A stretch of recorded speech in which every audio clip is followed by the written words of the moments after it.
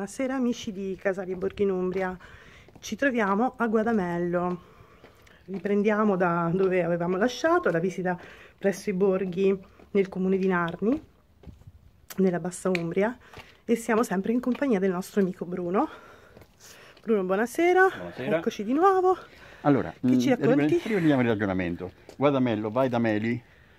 Dicevo che Narni era città in possesso eh, eh, bizantina, scusate, laddove invece dalla parte opposta c'erano i Longobardi. Quindi qui era un presidio molto importante per quanto riguardava l'avamposto narnese, a narnese bizantino, più che narnese avverso i Longobardi, che invece erano nei pressi, erano nella zona di Odricoli. Ora però, prima di ehm, altre considerazioni, vorrei brevemente intrattenermi, sai su che cosa? Su una cosa molto semplice, molto, come dire, banale se vogliamo. Cioè, che cosa facevano? Che- di che cosa si nutrivano? Qual era l'attività nell'epoca di trapasso fra il mondo antico e l'alto medioevo? Dunque, intanto qui erano ovviamente eh, erano successe cose nell'ultima epoca romana e la prima epoca barbarica incredibile, c'era stata la guerra gotica, stermini, quindi la popolazione Mm. italiana si era abbattuta di 3 milioni di abitanti, erano 2 milioni di abitanti, quindi pochissimi. E, e che quindi la vita era estremamente eh, risicata e ah, tra l'altro non è che eh, avessero un'abilità particolare nella coltivazione dei campi, quindi la fame era una cosa piuttosto sentita. E le culture erano quelle minime, Alcu- alcune cose che a noi sembrano banali, che esistono, sono d'uso corrente, per noi non esistevano, cioè le patate, per esempio i modo- i pomodori, mh, gli agrumi in senso generale. Esisteva cosa? Esisteva qui la cultura abbastanza risicata della vite e l'altra cultura mh, importante, ma fino a un certo punto, del figo, perché i fighi naturalmente hanno una, una grossa qualità ehm, alimentare. Pochissimo bestiame, e peraltro il bestiame era tenuto molto in considerazione perché bisognava giustamente lavorarci. E, mh, e conseguentemente, ehm, però, nello stesso tempo succede un altro fenomeno molto importante, che proprio perché la popolazione si rarefà, la- come dire, l'elemento uomo diventa più importante. E che succede da questo punto di vista, Nadia? Succede una cosa molto semplice, una eh, libera, come dire, l'affrancamento della schiavitù. Cioè, a mano a mano che l'uomo diventa sempre più raro come merce, perché è una merce in fondo, nell'epoca Sì. romana era una merce, man mano che diventa sempre più raro è sempre più prezioso. Certo. Quindi fame, mm, pestile, tutto quello che vuoi, ma nello stesso tempo succede quest'altro fenomeno.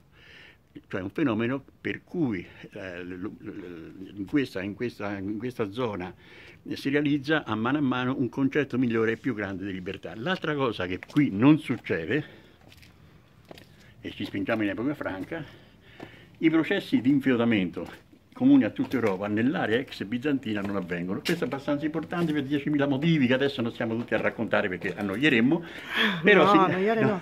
però significa una cosa molto importante, che l'area soggetta all'area degli ex domini bizantini rispetto a quelli degli ex domini longobardi sono aree del tutto diverse, hanno usi, costumi, abitudini del tutto diverse. Per esempio, un esempio fra tutti che è importante, nell'area bizantina eh, la gente, la gente comune, cioè anche mh, il- il- quello che era rimasto de- de- dei romani, cioè la popolazione autoctona, è ado- ehm, adopera le armi, è ab- abile ad adoperare le armi, La- dal dove nell'area invece longobarda i latini rimasti residuati non potranno adoperare le armi.